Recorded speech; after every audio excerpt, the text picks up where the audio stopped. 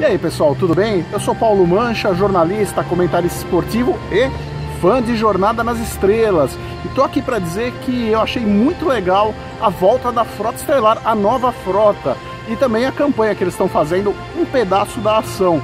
Clica aí na descrição do vídeo que tem os detalhes para você apoiar essa campanha que vai ser muito legal para os fãs de Star Trek. Valeu!